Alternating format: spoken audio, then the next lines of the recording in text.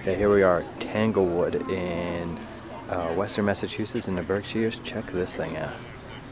Alright guys, what it says in the plaque right there, it says stand on the month. So Dan, can you go stand on the month out there? It's this one. Yeah, right there. Okay, stand on the month.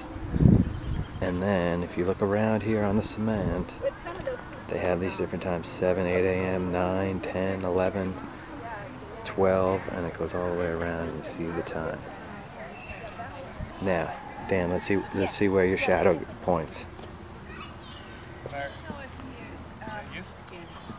Your shadow is point. Put your hands up, Dan. Okay. It's kind of between 11 and 12. What we say that's maybe 11:30, 11:20ish maybe if you were to extend that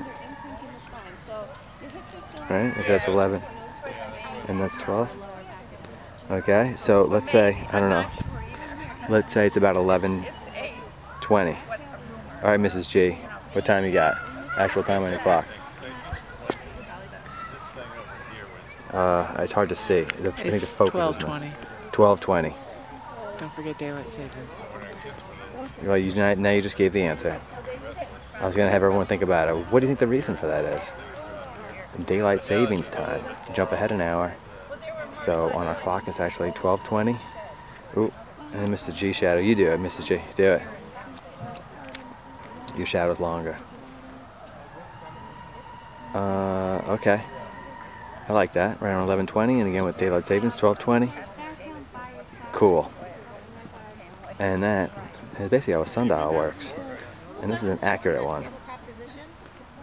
Because it has the months. You stand at different months, and that accounts for the different sunrise and sunset times.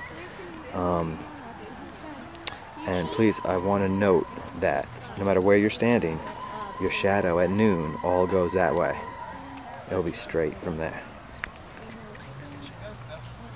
And that's because um, your shadow always points due north at noon.